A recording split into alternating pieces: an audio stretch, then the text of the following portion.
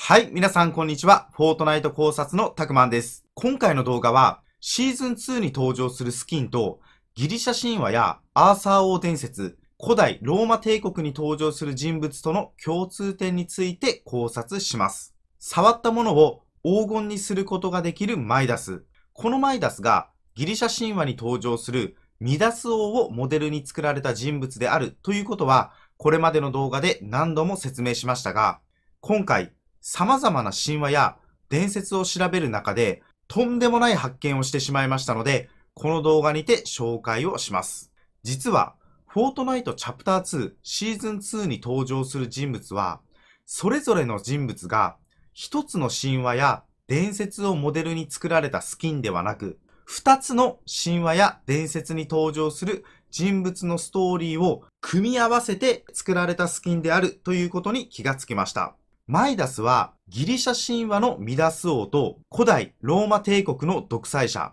カエサルのストーリーを組み合わせたスキン。そしてブルータスは古代ローマ帝国のブルータスと円卓の騎士の一人モルドレッドのストーリーを組み合わせたスキン。スカイは北欧神話のスカー派とアーサー王伝説に登場する魔術師マーリンの弟子ビビアンを組み合わせたスキンとなっているようです。このように、チャプター2シーズン2に登場する一つのスキンが、二つの神話や伝説をモデルに作られたと考えると、すべての伏線が一つにつながります。まず、スカイについて。このスカイは、フォートナイト公式の英語版の表記では、空を表すスカイではなく、スカイと表記します。スカイとは、イギリスに実在する島で、スカイ島という島が存在しています。そして、このスカイ島は、北欧神話にて、スカー派という女王が住んでいたとされています。このスカイ島、どこかで見たことがありませんか？そう、現在、フォートナイトチャプター2シーズン2にて、スカイがいる島、ザ・シャーク。この実在するスカイ島とザ・シャークの島の形が非常に似ているんですよね。やはりこのスカイは北欧神話に登場するスカー派をモデルに作られたスキンであるということは間違いないようです。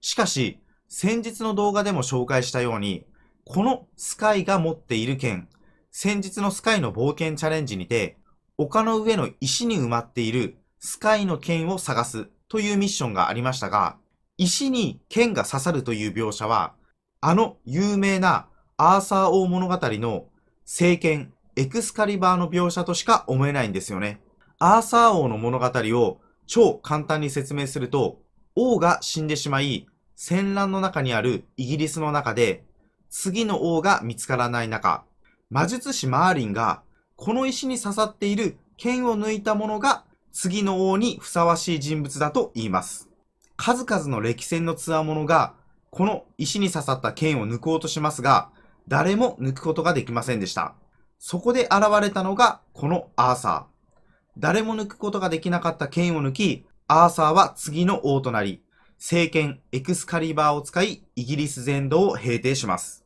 エクスカリバーという名前は、ゲームをやっているほとんどの方が聞いたことがある名前だと思います。この聖剣エクスカリバー、実は2本あるとされていて、石に刺さっている状態からアーサーが抜いたものはエクスカリバーではなくカリバーンと呼ばれていたらしいんですが、とある戦争にて折れてしまいます。そして折れてしまったため、湖の乙女、ビビアンから2本目の聖剣を授かりますが、正確にはその2本目の剣の名前を聖剣エクスカリバーと呼ぶようです。そしてスカイも剣を2本持っていますよね。このアーサー王の聖剣エクスカリバーの伝説の中で、2本目の聖剣エクスカリバーをアーサー王に渡した湖の乙女ビビアンがこのスカイのモデルになっている人物ではないかと考えました。この湖の乙女ビビアンは非常に美しい少女だったため、アーサー王に仕えていた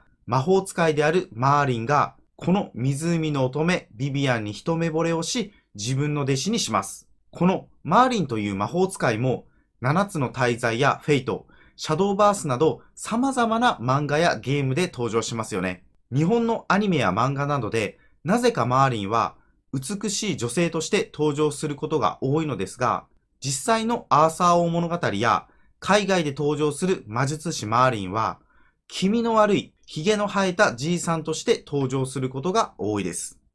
そして、魔術師マーリンが、この美しい湖の乙女、ビビアンに魔法を教え、ビビアンも魔法使いとなります。フォートナイトに登場するスカイも美しい少女であり、聖剣エクスカリバーのようなものを所持していますよね。そして、妖精のようなオーリーをペットにしており、どこか魔法の国の少女のような雰囲気があります。このビビアンに魔法を教えたマーリンですが、実は預言者としても有名でした。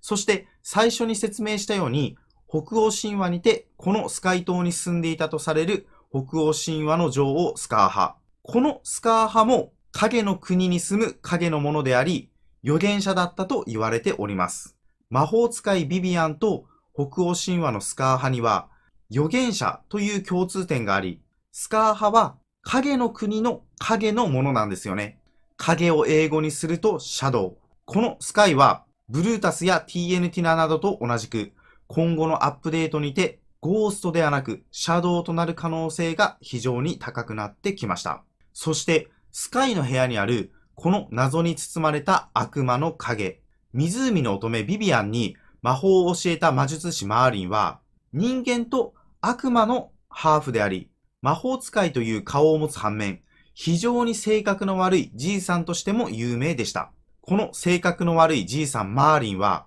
美しい少女ビビアンに今で言うストーカー行為をしていたため、ビビアンに魔法で大きな岩の下に閉じ込められてしまいます。岩に閉じ込められた悪魔の子供であるマーリンの影がここに映っているのではないでしょうか。これらのことから、スカイは預言者という共通点のあるアーサー王伝説の魔法使いビビアンと北欧神話の女王スカー派の二つのストーリーを組み合わせた人物であると考えられます。そして次にブルータス。古代ローマの有名な言葉、ブルータスお前もか。これは、ブルータス、お前も裏切り者だったのかという意味があり、このブルータスが裏切り者なのではないかと考察していましたが、歴史上、ブルータスが裏切った人物は、古代ローマ帝国の独裁者、カエサルという人物だったんですよね。フォートナイトの世界でブルータスが使えているスパイ組織のリーダーマイダスは、ギリシャ神話に登場するミダス王をモデルに作られた人物であったため、ブルータスの登場する古代ローマ帝国の物語とミダス王が登場するギリシャ神話は全くの別物の話であり、このブルータスを裏切り者だと確定することができずにいました。しかし今回、チャプター2シーズン2に登場する人物が、二つの神話や物語を合わせたスキンとなっていると考えることにより、やはりこのブルータスがマイダスを裏切る、裏切り者であると断定することができました。スカイの持っているこの剣が聖剣エクスカリバーであると説明しましたが、聖剣エクスカリバーが登場する物語はアーサー王伝説。そしてアーサー王伝説には円卓の騎士という上座、下座の存在しない全員が平等という意味の丸い机が存在しています。この円卓の騎士に登場する円卓が、ブルータスのいるザ・グラ島に存在しているんですよね。そして、この円卓には、アーサー王と12人の円卓の騎士、合わせて13人の騎士がいましたが、なんと、スカイの冒険チャレンジにて、スカイの剣を見つけるというチャレンジがありましたが、そのチャレンジに存在する剣の数も13本なんですよね。先日の動画で剣をマップ上で12本見つけたと言っていましたが、視聴者の方から教えてもらい、スカイの剣はマップ上に全部で13本存在していることが分かっています。円卓の騎士の数13人と、スカイのチャレンジでスカイの剣が13本存在していること。これは偶然とは思えません。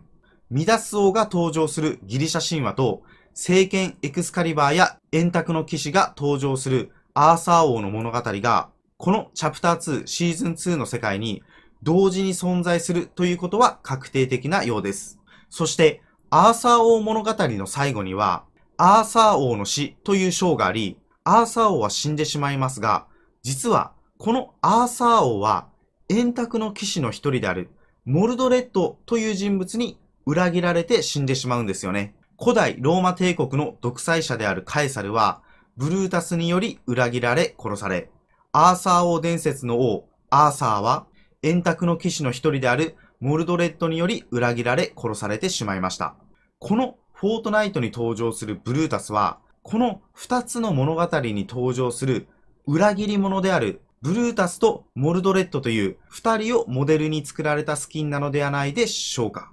そして次にマイダス。このマイダスはギリシャ神話のミダス王と古代ローマ帝国の独裁者カエサルという二人の人物をモデルに作られたスキンだと考えられます。カエサルという人物は今からおよそ2000年前の古代ローマに実在する人物で軍を率いてガリア全土を掌握し、その後古代ローマの政治家として政治でも頭角を現し、さらに自分を主人公としたガリア戦記という本を執筆し、民衆の心をつかみ、古代ローマ帝国のすべてを掌握した最強の人物であり、自らを終身独裁者と名乗り、古代ローマ帝国最大の野心家として現代まで語り継がれています。マイダスの公式の紹介文にて、資産、世界のすべてとありますが、カエサルはローマ帝国の軍、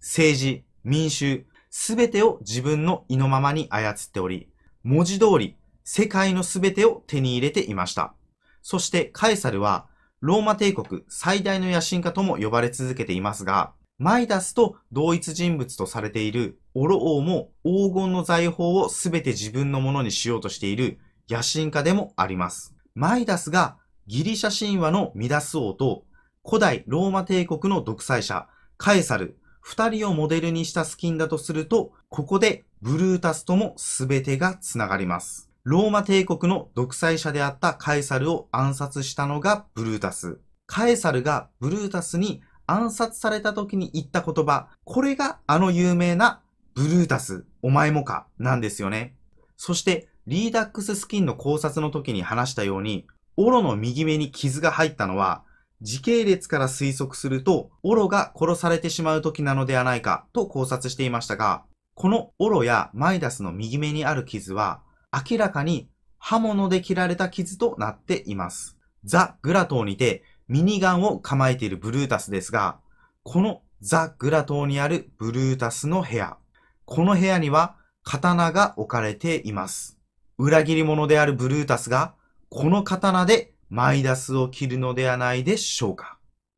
はい、今回の考察いかがでしたでしょうか？これまでもフォートナイトのスキンたちはいろいろな神話をもとに作られたスキンがたくさん存在していたんですが、チャプター2シーズン2に登場するスキンが2つの神話や伝説を組み合わせて作られたスキンだと考えると、これまでの全ての伏線が一つにつながりました。マイダスがギリシャ神話のミダス王をモデルとしているスキンなのに、なぜ聖剣エクスカリバーや円卓の騎士のようなものがこのフォートナイトの世界に存在しているのかという疑問から今回の考察にたどり着くことができました。こんな風にね、フォートナイトのスキンやマップに関係する様々なことを考察し動画にしていますので、フォートナイト好きな方はよかったらチャンネル登録よろしくお願いします。はい、最後までご視聴ありがとうございました。